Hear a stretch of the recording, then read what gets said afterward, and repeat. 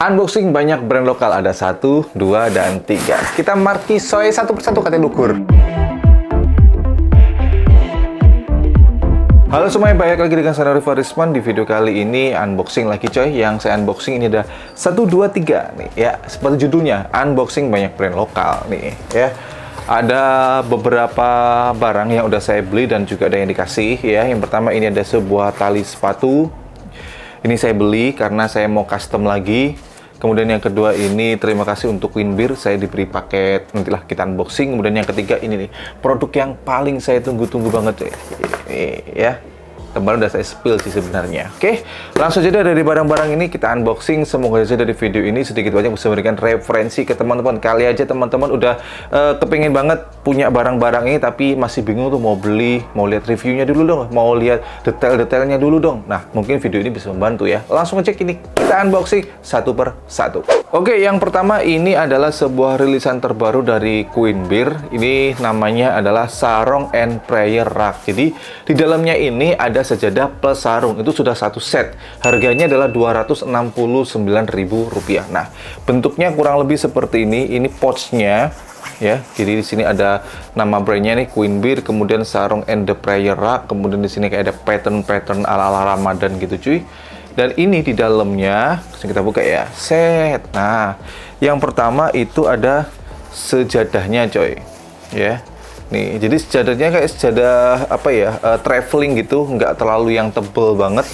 Bahannya juga enak, ini tipis, jadi gampang banget dilipat dan ini gampang banget dibawa ke mana-mana. Atau istilahnya ya mungkin sajadah traveling gitu ya karena bisa dilipat jadi kecil banget gitu. Dan untuk detailnya sendiri ini bahannya sepertinya polyester ya atau bahan apa sih? Saya kurang tahu. Kemudian di sini ada sedikit motif paisley-nya dan juga ada pattern-pattern gitu di tengah-tengah. Sarungnya ini senada dengan si uh, sajadahnya tadi untuk patternnya ya atau motifnya gitu ya. Ada sedikit-sedikit motif paisley gitu dan kemudian ada pattern juga dan ini dominannya warnanya hitam atau gelap gitu. Nih mantep banget ya.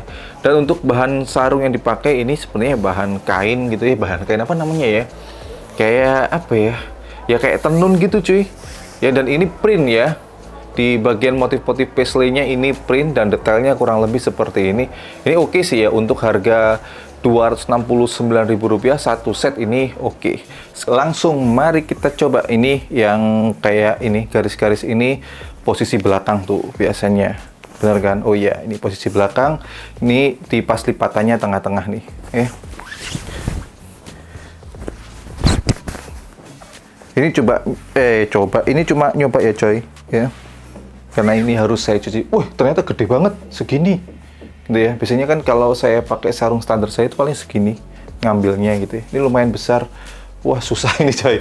Susah banget. Ada. Duh. saya itu sarungan nggak begitu bisa coy. Ini karena ini kebesaran sih ya.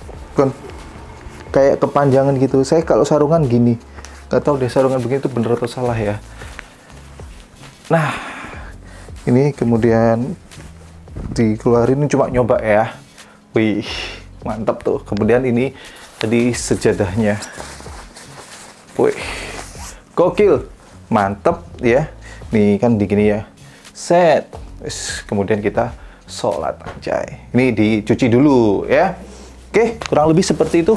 Mantap, terima kasih Queen Beer. Semoga bisa jadi rekomendasi buat kalian. Bye. Kemudian yang kedua adalah ini. Ini kecil banget. Ini adalah hasil pembelian saya ketika flash sale 44 kemarin cuy. Ini adalah sebuah tali sepatu karena emang uh, lagi pengen custom juga. Ini adalah sebuah tali sepatu dari Warplace. Salah satu brand tali sepatu yang emang sering saya jadikan langganan untuk uh, beberapa sepatu-sepatu yang ingin saya custom tanpa harus ribet coy. Nah, ini saya pilih yang warnanya adalah uh, kayak blue blue turquoise gitu ya, kayak uh, biru muda gitu. Dan ini saya salah pilih kepanjangan. Eh, salah pilih kepanjangan. Saya salah pilih panjang, coy. Ini yang saya pilih ada 160 cm. Waktu itu saya lupa, bener-bener lupa. Padahal maunya yang saya ganti tali ini adalah sepatu si ini ya sepatu kompas yang black white ini, ini mau saya custom strapnya gitu dan mau saya pasangin dengan tali ini ya tali yang warna ini cuy yang strapnya ini mau saya ganti warnanya sambil ada ya entah saya apakan lah gitu kemudian saya kombinasikan dengan tali ini gitu ya Seharusnya yang saya pakai adalah uh, yang panjangnya 125 cm. Tapi di sini saya pilih yang 160 cm. Kepanjangan sih ya. Oke, kurang lebih seperti ini sepatunya ketika ini belum saya custom ya, masih polosan. Nanti saya pasangi ini untuk uh, si tali sepatunya saya ganti ya. Dan kemudian hasil customnya kurang lebih seperti ini cuy.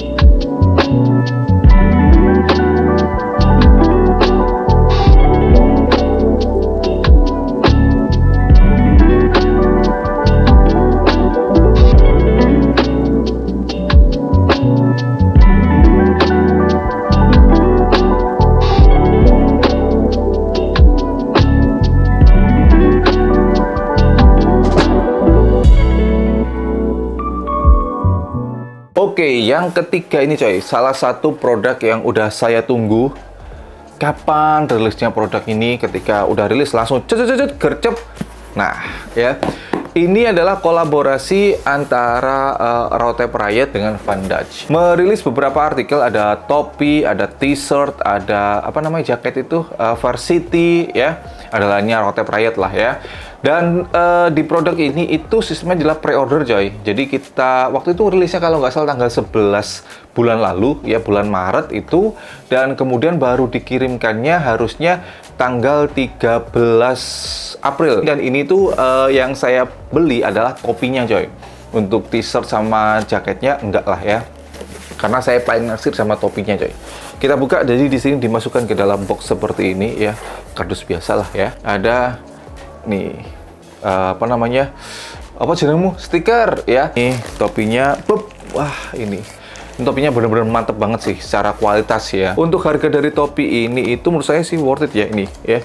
Rp369.000 untuk sebuah kolaborasi ya dengan brand yang nggak main-main juga ya. Dan kemudian hasil dari kolaborasinya produknya ini ini bener-bener worth it banget sih cuy. Di bagian depannya ini full bordir embroy gitu coy. Dan kemudian di bagian visornya ini lengkungnya ini udah mantep banget sih menurut saya. Kemudian di bagian sampingnya sih ada logonya Van Dutch ya. Mata kemudian ada tulang silang dan ada sayapnya cuy. Dan di bagian dalamnya ini ada Van Dutch Van Dutch Van Dutch gitu dengan harga Rp369.000 menurut saya ini udah worth it banget mantep banget ketika kemarin saya cek uh, di websitenya Rotep Riot ya, rilisannya udah nggak ada, nggak tahu deh itu udah sold out atau emang untuk dijual di offline-nya. Ini mantap banget coy, saya suka banget coy.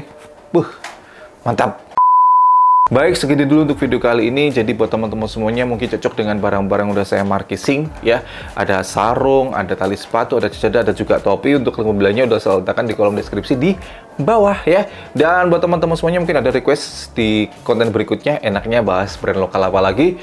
Coba deh ya, share di kolom komentar di bawah. Oh ya udah lama nggak bahas sepatu ya. Mungkin nih next next next deh bahas sepatu ya. Terima kasih teman-teman yang nonton. Selalu dukung bangga dan pakai belok karena lokal istimewa. Saya Farisman thanks for watching. Stay positive and your be brighter. See you next time